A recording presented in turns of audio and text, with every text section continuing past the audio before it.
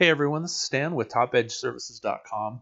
In this video, I'm going to show you how you can add a menu to your footer um, using WordPress and the Themify theme, uh, in particular the Ultra Themify theme.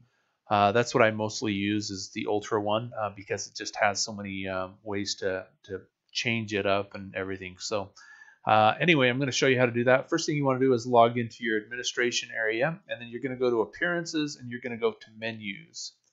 And we're going to create a menu. I've already I've already created one here. It's blank. Uh, so if you need to create a new one, just click Create a New Menu.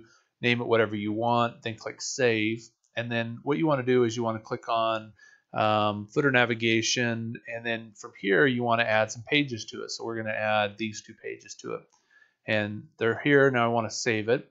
Uh, now, right now it hasn't it hasn't updated it. So let's just go in to show you. There's nothing here. I want to put it right here, and that's the third um, footer box. That's the third widget, uh, third footer widget. So let's go into the widgets now, and I'm going to open up uh, number three right here. It's empty, and I'm going to drag in custom menu. And then from here, I'm going to choose footer. I could add a little title here say um, more stuff.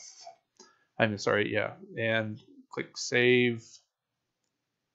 And then we'll come back here, we'll refresh again, and there it is, more stuff, and we've got our menu right there.